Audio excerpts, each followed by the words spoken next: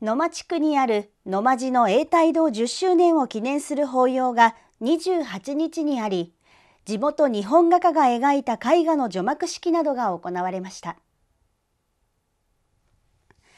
野間寺では、墓の維持管理、継承などの悩みや、様々な供養のニーズに対応するため、平成26年春に永代供養涅槃堂を建立しました。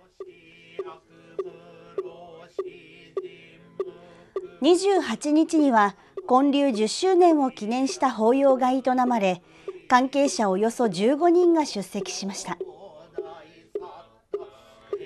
永代堂はブータンにある有名な寺院タクツアン僧院をモチーフに建てられ釈迦がインドで亡くなった姿を表した涅槃仏が本尊として祀られています。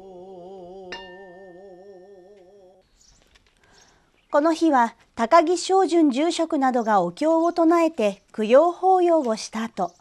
永代堂内に新たに飾った絵画の除幕が行われました。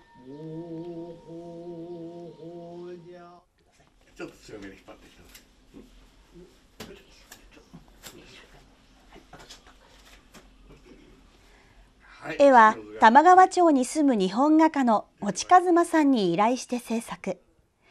建物の吹き抜けを囲むように、およそ1.5メートル四方の絵4枚が飾られました。あやはり日本人として生まれて亡くなった方々ですから日本の四季をいつまでも味わっていただくために日本の四季の絵を描くことを望んでいたわけですけども今回なんとか10周年記念にやっと間に合いまして、えー、本日除幕をしたところであります。まあ、正月の大根炊きも、えー、平成の12年からあ開催しておりますまた永代堂も今回10年を迎えました、まあ、これからも、まあ、何ができるか、えー、これから模索しながらまた進んでいきたいなと思っております。